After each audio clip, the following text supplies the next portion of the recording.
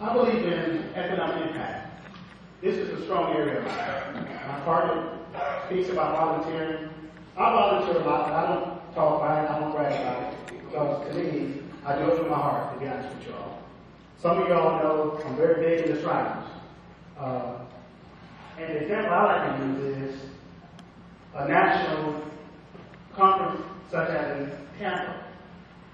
When you look at economic impact and an organization like that staying in town for seven days, and you're talking about all the hotels, you're talking about all the restaurants, all the other services that come about, just that one week in Tampa brought a $12 million economic impact to the city of Tampa.